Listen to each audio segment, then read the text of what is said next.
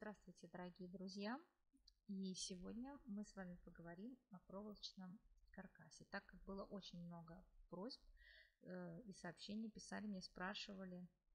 Ну и я к тому же вам обещала, так что свое обещание выполняю.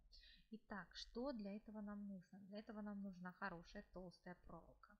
То есть, если кондитерской проволоки у вас не нашлось по каким-либо причинам, вы можете сделать так же, как я пойти в строительный магазин и приобрести алюминиевую проволоку. А, дальше хорошенечко ее моем. То есть отрезаем кусочек нужной длины, обрабатываем его влажной тряпочкой, потом протираем спонжем или диском ватным со спиртом и обматываем тейп-лентой.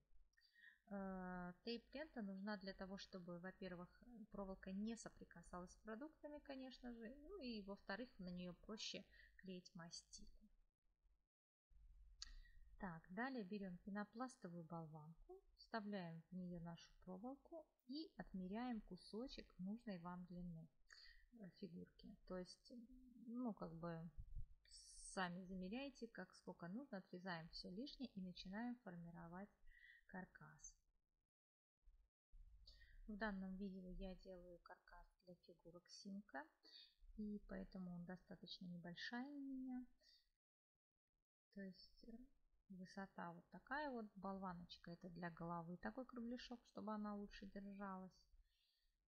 И теперь берем более тонкую проволоку, которая легко гнется, и начинаем формировать ручки, ножки и прикручивать тейп-лентой наши детальки. То есть смотрите, чтобы высота ножки и высота ручки, длина были одинаковые.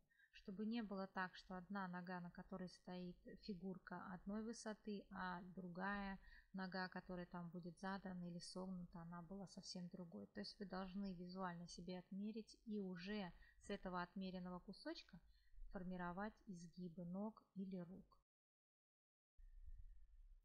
Ну и вот так вот формируем, смотрим, примеряем, нравится нам, не нравится, как это будет смотреться, прикидываем.